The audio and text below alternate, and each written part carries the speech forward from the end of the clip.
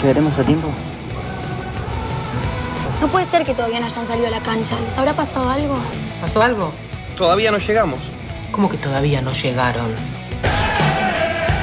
Uy, los halcones no han salido del vestidor. Sí, pero el árbitro está reunido con sus asistentes. Ay, chicos, no creo que siga esperando mucho más. No, chicos, los halcones salieron a la cancha sin nosotros. Hey, Gabo, ¿quién te está llamando tanto? Zoe, pero no, no la puedo atender. Me va a poner más nervioso de lo que estoy.